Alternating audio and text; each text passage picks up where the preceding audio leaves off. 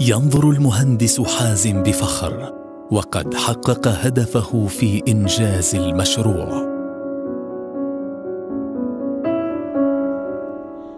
كان حازم مواظبا على دراسته في شتى مراحله الدراسية فهو يتطلع إلى هدف منذ صغره. حقق حازم اهدافا عديدة في المرمى قبل سنوات ما أهله للفوز وتطبيق معنى الفوز واقعا في حياته ومستقبله.